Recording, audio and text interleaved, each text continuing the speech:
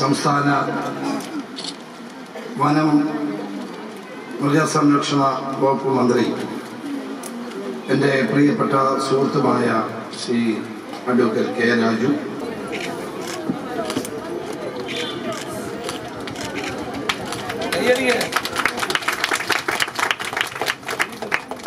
കന്നുകുട്ടികളുടെ census രണ്ടായിരത്തി ഏഴിൽ എടുത്ത ഒരു സെൻസസ് കന്നുകാലികളുടെ സെൻസസ്.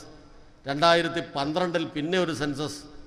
ഈ രണ്ട് സെൻസസിലെ കണക്കുകൾ തന്നെ വ്യക്തമാക്കുന്നത് കന്നുകാലികളുടെ എണ്ണം വളരെയധികം കുറയുന്നു. ഇരുപത്തി മൂന്ന് ശതമാനമാണ് കുറവുണ്ടായത്. യഥാർത്ഥത്തിൽ രണ്ടായിരത്തി പന്ത്രണ്ടിന് ശേഷം പിന്നീട് ഒരു സെൻസസ് എടുത്തില്ല. സെൻസസ് ഇപ്പോൾ എടുത്താൽ തീർച്ചയായിട്ടും എനിക്ക് ഉറപ്പുണ്ട് കന്നുകാലികളുടെ എണ്ണം നമ്മുടെ നാട്ടിൽ പിന്നെയും ഒരുപാട് കുറയുകയാണ്. പശുക്കളുടെ എണ്ണം കൂടണം. എങ്കിൽ മാത്രമേ പാലിന്റെ ഉൽപ്പാദനത്തിൽ സ്വയം പര്യാപ്തത നേടാൻ വേണ്ടി കഴിയൂ. ഈ രണ്ടായിരത്തി പതിനെട്ട് ഡിസംബർ മാസമാകുമ്പോൾ പാലിന്റെ കാര്യത്തിൽ സ്വയം പര്യാപ്തത നേടണം എന്നുള്ളതാണ് ഈ ഡിപ്പാർട്ട്മെന്റും ഗവൺമെന്റും മുന്നോട്ട് വെച്ചിട്ടുള്ള മുദ്രാവാക്യം. കുറേയേറെ മുന്നോട്ട് പോയിട്ടുണ്ട് എന്ന് സൂചിപ്പിക്കാൻ ഞാൻ ആഗ്രഹിക്കുകയാണ്. കേരളത്തിലെ ക്ഷീരമേഖലയെ ആകെ സജീവമാക്കിക്കൊണ്ട് പാലിന്റെ ഉൽപ്പാദനത്തിൽ വൻതോതിലുള്ള വർധനവ് ഇതിനോടകം തന്നെ ഉണ്ടാക്കാൻ കഴിഞ്ഞിട്ടുണ്ട്. സംസ്ഥാനത്തൊട്ടാകെ കഴിഞ്ഞ വർഷത്തേക്കാൾ ഈ രണ്ടായിരത്തി പതിനേഴ് പതിനെട്ട് വർഷം പതിനേഴ് ശതമാനത്തിന്റെ വർധനവ് വന്നു. ഇപ്പോൾ എൺപത്തി മൂന്ന് ശതമാനം. നമ്മുടെ സംസ്ഥാനത്ത് ആ ആവശ്യമുള്ള മൊത്തം പാലിന്റെ എൺപത്തി മൂന്ന് ശതമാനമാണ് ഇപ്പോൾ നമ്മൾ ഉൽപ്പാദിപ്പിക്കുന്നത്.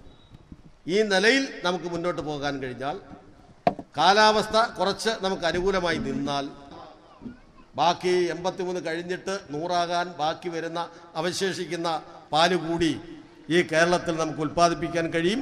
ആദ്യമായി കാർഷിക മേഖലയിൽ ഏതെങ്കിലും ഒരു ഉൽപ്പന്നം നമുക്ക് സ്വന്തമായി ഉൽപ്പാദിപ്പിച്ച് സ്വയം പര്യാപ്തത നേടാൻ കഴിയുന്ന നിലയിലേക്ക് നമുക്ക് എത്താൻ വേണ്ടി കഴിയും. അതിനുള്ള സഹകരണമാണ് എല്ലാവരുടെയും വേണ്ടത്. ഇവിടെ മൃഗസംരക്ഷണ വകുപ്പും ക്ഷീരവകുപ്പും ഇത് രണ്ടും ഞാൻ കൈകാര്യം ചെയ്യുന്ന വകുപ്പുകളാണ്. ഈ രണ്ട് വകുപ്പും സംയുക്തമായി ചേർന്ന് ആലോചിച്ച് മുന്നോട്ട് നീങ്ങിയപ്പോൾ വളരെയധികം മാറ്റങ്ങളാണ് വരുന്നത്. മൃഗസംരക്ഷണ വകുപ്പും അതുപോലെ തന്നെ ക്ഷീരവകുപ്പും സംയുക്തമായി നടത്തുന്ന ഈ പൊതുവായ പ്രവർത്തനത്തിന്റെ ഫലമായി പാലിന്റെ ഉൽപ്പാദനത്തിൽ വലിയ വർധനവ് നമുക്ക് ഉണ്ടാക്കാൻ വേണ്ടി കഴിഞ്ഞിട്ടുണ്ട്. ഇനി ബാക്കി അവശേഷിക്കുന്നത് കൂടി നമുക്ക് ഉൽപ്പാദിപ്പിക്കണം. പാലിന്റെ കാര്യത്തിൽ നമുക്ക് സ്വയം പര്യാപ്തത നേടണം. പാലിന്റെ കാര്യത്തിൽ സ്വയം പര്യാപ്തത നേടണമെങ്കിൽ ബഹുമാനപ്പെട്ട പഞ്ചായത്ത് പ്രസിഡന്റ് ഇവിടെയുണ്ട്. ബ്ലോക്ക് പഞ്ചായത്തിന്റെ ഭാരവാഹികൾ ഇവിടെയുണ്ട്. ജില്ലാ പഞ്ചായത്ത് പ്രസിഡന്റ് ഉണ്ട് ജില്ലാ പഞ്ചായത്ത് മെമ്പറുണ്ട്. എനിക്ക് അഭ്യർത്ഥിക്കാനുള്ളത് തദ്ദേശ ഭരണ സ്ഥാപനങ്ങളുടെ കൂടെ നല്ല ഇടപെടൽ വേണം. ഒരു കാര്യം സൂചിപ്പിക്കാം. ഈ വർഷം ഇപ്പോൾ ഈ മാർച്ച് മുപ്പത്തൊന്ന് വരെ നിലവിലിരിക്കുന്ന ഈ സാമ്പത്തിക വർഷം ബഡ്ജറ്റിൽ ക്ഷീരമേഖലയ്ക്ക് വേണ്ടി നീക്കിവെച്ചത് നൂറ്റിയേഴ് കോടി രൂപയാണ്. എന്ന് പറഞ്ഞാൽ കേരളത്തിന്റെ തന്നെ ചരിത്രത്തിൽ ആദ്യമായിട്ടാണ് നൂറ്റിയേഴ് കോടി രൂപ ക്ഷീരമേഖലയ്ക്ക് മാത്രമായി നീക്കിവെച്ചത്. പക്ഷേ അതിനേക്കാൾ സന്തോഷത്തോടു കൂടി പറയട്ടെ ഗവൺമെന്റ് നൽകിയ പ്രോത്സാഹനത്തിന്റെയും പ്രേരണയുടെയും ഒക്കെ ഫലമായി നമ്മുടെ തദ്ദേശ ഭരണ സ്ഥാപനങ്ങളെല്ലാം കേരളത്തിലെ മുഴുവൻ തദ്ദേശ ഭരണ സ്ഥാപനങ്ങളും മുമ്പ് ഒരിക്കലും ഇല്ലാത്ത വണ്ണം ക്ഷീരമേഖലയിൽ പ്രോജക്റ്റുകൾ വെക്കുകയും ആ മേഖലയിലേക്ക് പണം നീക്കി വെക്കുകയും ചെയ്തിട്ടുണ്ട്. അതനുസരിച്ച് നിലവിൽ ഈ വർഷം മുന്നൂറ് കോടി രൂപയാണ് നമ്മുടെ തദ്ദേശ ഭരണ സ്ഥാപനങ്ങൾ ഈ മേഖലയ്ക്ക് വേണ്ടി നീക്കി വെച്ചിട്ടുള്ളത്. അപ്പം മൊത്തം നാനൂറ്റിയേഴ് കോടി രൂപ ക്ഷീരമേഖലയ്ക്ക് വേണ്ടി ചിലവഴിക്കപ്പെടുകയാണ്. വരും വർഷവും അതുപോലെ തന്നെ ഉണ്ടാകും എന്നുള്ള കാര്യത്തിൽ സംശയം വേണ്ട. പഞ്ചായത്തിന്റെ ജനപ്രതിനിധികളടക്കമുള്ള ഇവിടെ വന്നിട്ടുള്ള ജനപ്രതിനിധികളോട് എനിക്ക് അഭ്യർത്ഥിക്കാനുള്ളത് നമ്മൾ കൂട്ടായ ഒരു ഇടപെടിയിൽ നടത്തിയാൽ പാലിന്റെ കാര്യത്തിൽ സ്വയം പര്യാപ്തത നേടാൻ കഴിയും എന്നുള്ള കാര്യത്തിൽ ഒരു സംശയവും വേണ്ട. കർഷകനാണ് ഈ മേഖലയുടെ നട്ടൽ അവന് പാലിന് വില കിട്ടണം. അതുകൊണ്ടാണ് നാല് രൂപ അതുമായി ബന്ധപ്പെട്ട് കൂട്ടിയത്. ഇപ്പോഴെന്താണ് സ്ഥിതി? വർദ്ധിപ്പിച്ച നാല് രൂപ തന്നെ കർഷകന് കിട്ടുന്നു. കാരണം നമ്മുടെ മിൽമ അടക്കമുള്ള സംവിധാനങ്ങൾ പാൽ വാങ്ങിക്കുമ്പോൾ അവർ ഈ പാലിന്റെ കണ്ടൻസ് ഒന്ന് ടെസ്റ്റ് ചെയ്താണ് വാങ്ങിക്കുന്നത്. കൂടുതൽ വില കർഷകന് കിട്ടത്തക്കവണ്ണം ആ നിലവിലുണ്ടായിരുന്ന ചാർട്ടിലും ഒരു മാറ്റം വരുത്തി.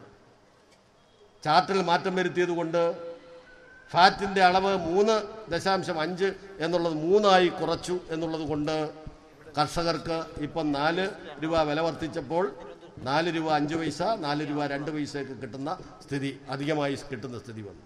ഈ ഗവൺമെന്റ് വന്നതിന് ശേഷം കോഴിക്കോട്ട് പുതിയ ഒരു പ്ലാന്റ് ആരംഭിച്ചിട്ടുണ്ട്.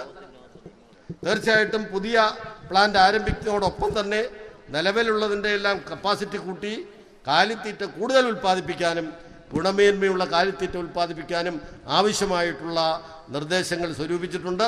അവ നടപ്പിലാക്കുന്നതായിരിക്കും. രണ്ടാം സമ്മാനമായ ഇയർ നമ്പർ എ പന്ത്രണ്ട് സേവ് ആറ് മാസം മുതൽ ഒരു മാസം വരെയുള്ള വിഭാഗത്തിൽപ്പെട്ടവർക്ക്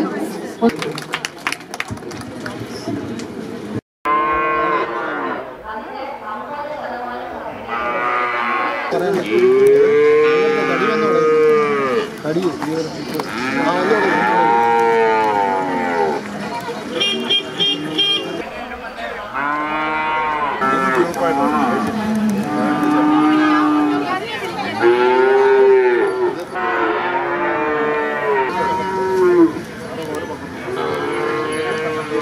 يقول